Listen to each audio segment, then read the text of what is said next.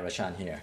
Today we will try another hiking trail uh, at Bang Kachao Island. So I call it the Bang Kachao hiking trip.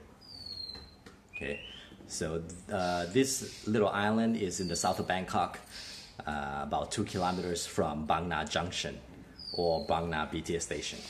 So basically, you take the BTS all the way to Bang Na uh, station, get off at Bang Na station, and take a taxi to uh, a temple where you can get on the ferry uh, to cross over to the island. It, the crossing takes only a few minutes and it's very cheap. And I will add the name later on.